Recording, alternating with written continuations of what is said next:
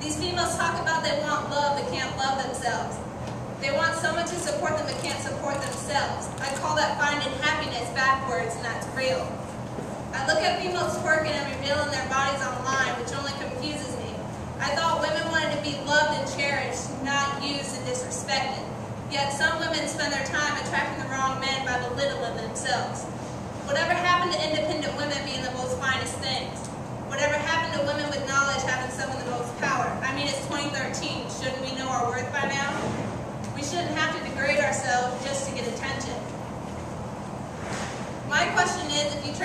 with me, could you actually walk a mile in my shoes? Could you handle the challenges and the struggle a young woman faces on a daily basis?